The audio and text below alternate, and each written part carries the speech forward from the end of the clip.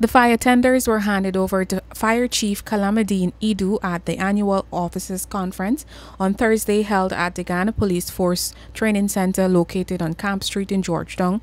The two-day conference is being held under the theme Understanding the Challenges and Working Towards Improving Fire and Rescue Services.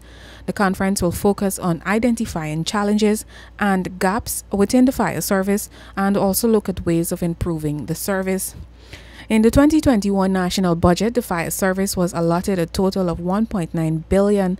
The fire chief said that one of the major projects will be the relocation of the central fire station from the congested Stabroek Market, along with the establishment of new fire stations at Eccles, East Bank, Demerara, Mahdia in Region 8, Lethem in Region 9, and Mabaruma in Region 1.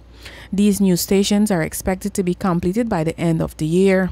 You can well appreciate the, on, the task that is ours and the importance of our response in order to minimize the loss of lives, property, and personal effect, as well to ensure that the citizens of Guyana are effectively rescued and quickly transported to treatment center to guarantee their well-being. Meanwhile, Minister of Home Affairs Robeson Benn, in his remarks, urged that the ranks and firefighters provide service with confidence. He also called on the public to desist from making prank calls. Benn said more needs to be done to promote the use of fire extinguishers and fire alarms in homes and water sprinklers in commercial buildings. This, the minister explained, will help reduce losses. The minister also touched on the need for the fire service to provide a welcoming environment, especially for women I think one of the more important things is that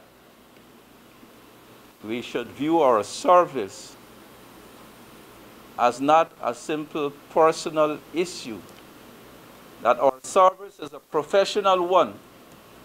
Our service is beyond ourselves. Our service is for the public, for people, for country, for Guyana. Among the plans to better the fire service are the modernization and renovation of fire stations, the establishment of a legal department and a public relation department, taking into consideration the welfare of the firefighters and other ranks. The fire chief also announced the establishment of an occupation, safety and health department. The expansion of the fire services emergency medical technician service is also part of the strategic plan as well as core training for staff regionally and internationally. Reporting for the newsroom, I am Isanella Pato.